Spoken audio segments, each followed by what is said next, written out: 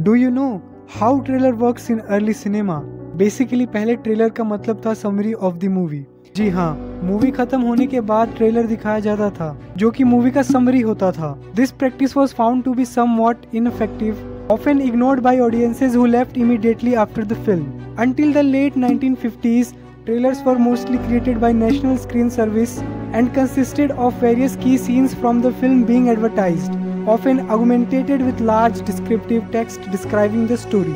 In the early 1960s, the face of motion picture trailers changed. Textless and montage trailers and quick editing became popular, largely due to arrival of the new Hollywood and techniques that were becoming increasingly popular in television.